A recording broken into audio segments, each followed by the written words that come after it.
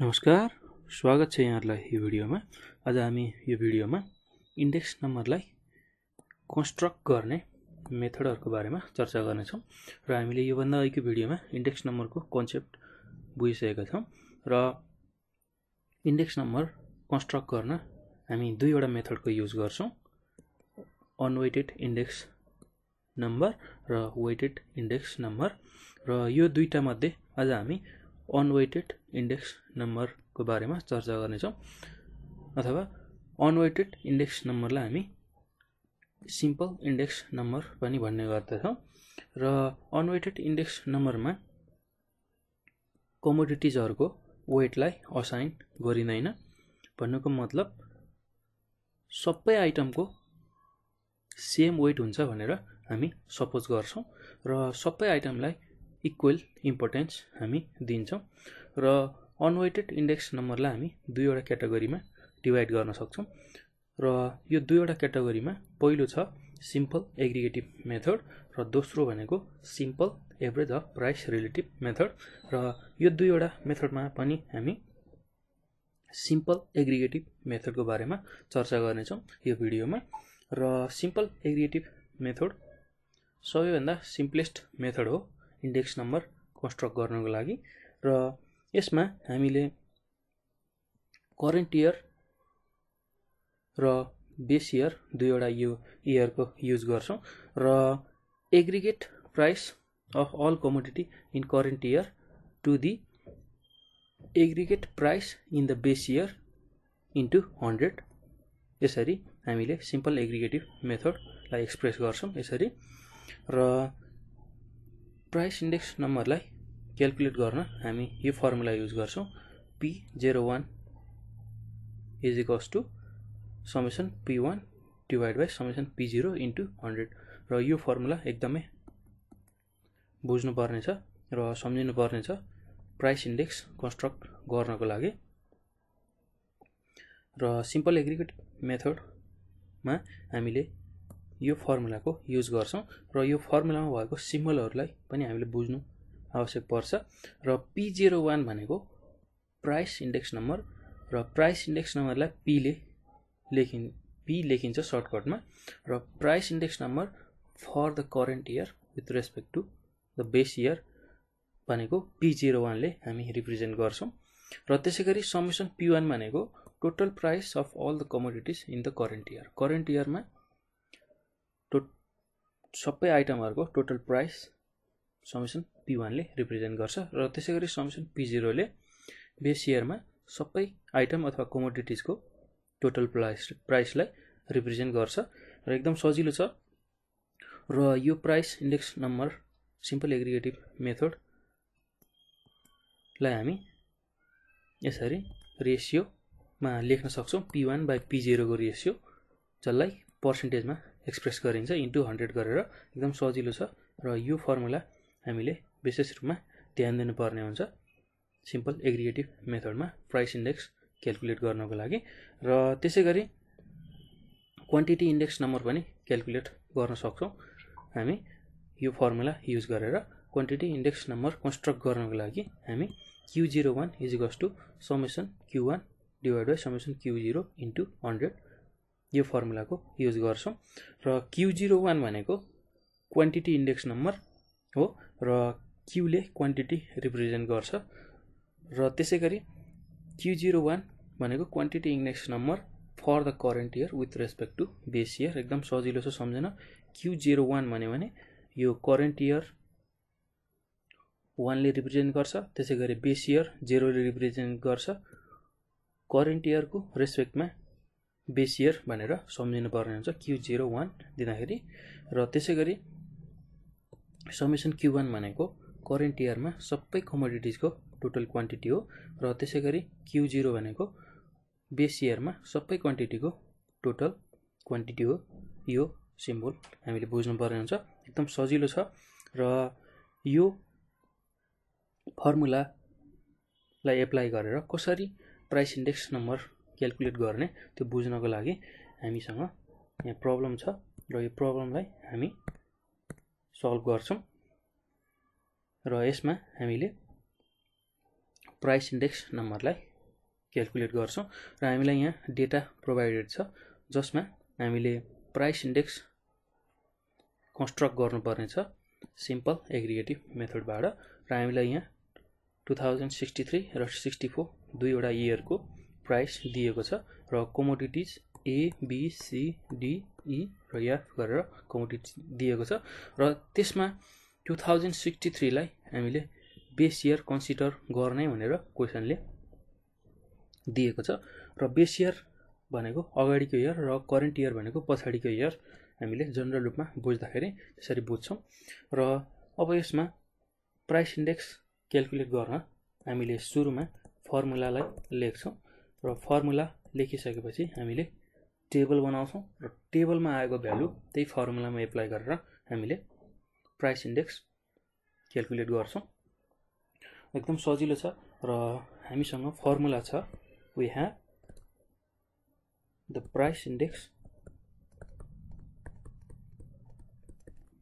by simple aggregative method भनेर यसरी हामी फर्मुला लेख्छौँ पी जिरो वान यो सफिक्समा लेखिन्छ तल। पीको तल यसरी P zero one is equals to summation P one divide by summation P zero into one hundred र यो फर्मुला लेखिसकेपछि अब हामी क्यालकुलेसन टेबल बनाउँछौँ। क्यालकुलेसन अफ प्राइस इन्डेक्स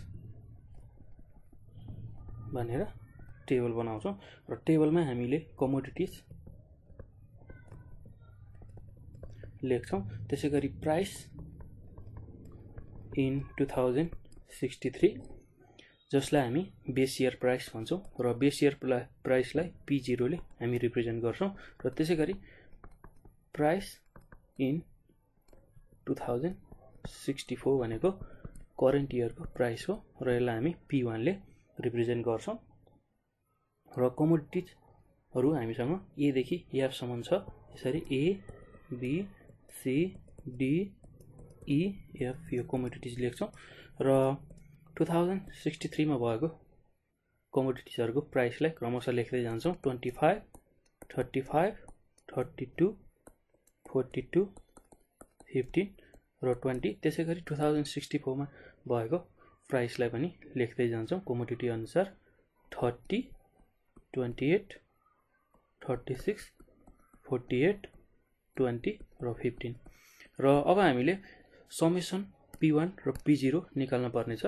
र समेसन पी जिरो निकाल्न हामीले यो सबै प्राइसहरूलाई जोड्छौँ पेसियर प्राइसहरूलाई र यसलाई जोड्दाखेरि हामी वान सिक्स नाइन पाउँछौँ क्यालकुलेटरमा थिच्दाखेरि।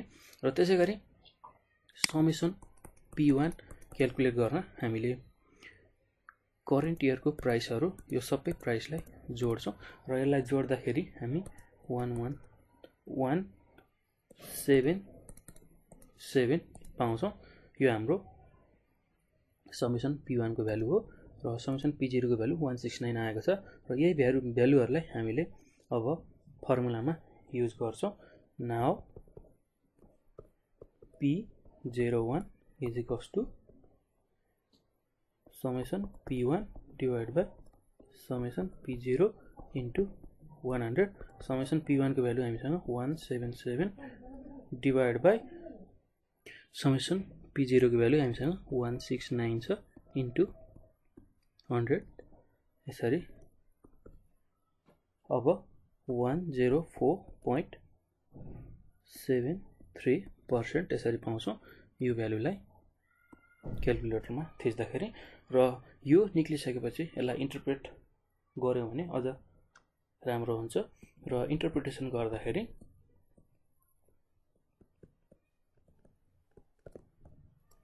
यो जुन आएको पर्सेन्टेज छ one zero four point seven three minus hundred percent गर्छौँ जहिले पनि हामी। र यसबाट हामीले four point seven three percent पाउँछौँ।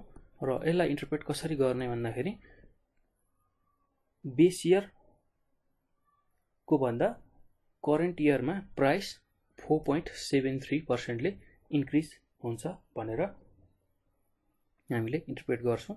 बेस इयरको भन्दा करेन्ट इयरमा फोर पोइन्ट सेभेन थ्री पर्सेन्टले प्राइस अफ कमोडिटी इन्क्रिज हुन्छ। र यसलाई हामी कन्क्लुजनको रूपमा लेख्छौँ। It shows that price of commodities are increased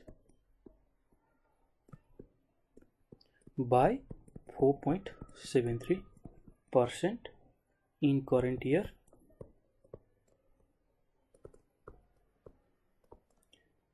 Is compared